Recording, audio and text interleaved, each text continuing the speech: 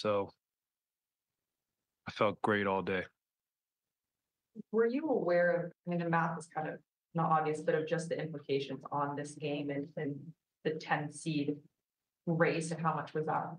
You know, talked about Yeah. on your, your mind individually.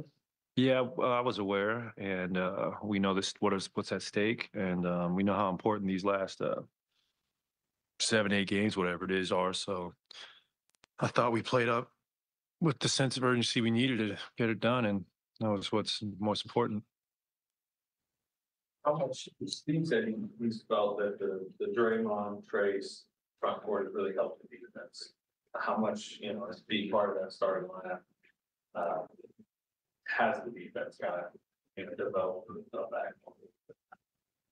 Well, both those guys are so good around the rim. I mean, you saw last game, Draymond with the game clinching block, Trayce with uh, his ability to rebound and finish. I mean, guy had almost uh, he had a great night tonight, twenty points, incredible efficiency and great defense. And I was impressed with his strength around the rim to snatch up these rebounds and secure the possession for us. That was very impressive for a rookie. That's that's uh that's just being a tough-minded player.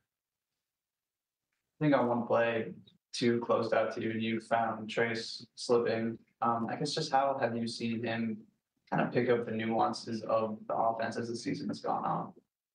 I mean, Trayce is one of the best players at Indiana in the in the college scene. So when you play for four years and you're NBA ready, I mean, you can tell he's been coached very well and his fundamentals are very good and he's NBA ready player and the value we get from him of 50 something pick, it's very special and give our front office credit for that and give Trayce a ton of credit for just his readiness as a professional. It's uh very impressive, and he's had such an incredible year. I, I would assume he would be on one of these all rookie teams. He's playing that well.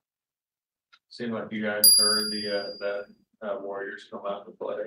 Yeah, that's pretty lame, especially if you're not even playing. Like it's one thing if you're playing and you're out there competing and you can back it up.